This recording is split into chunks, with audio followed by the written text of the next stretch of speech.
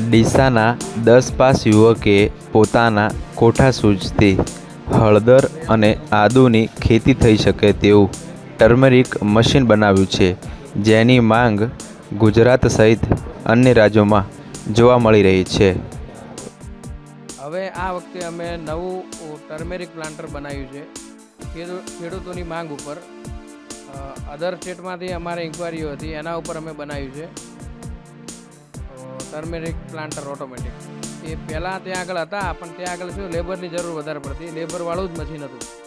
હવે જે બનાવ્યું છે એ ઓટોમેટિક છે. એમાં કોઈ લેબરની જરૂર પડતી નથી અને કામ પણ આસાનીથી થાય. એવું આ વખતે અમે બનાવ્યું છે નવું. ઈટીવી ભારત, બનાસકાંઠા.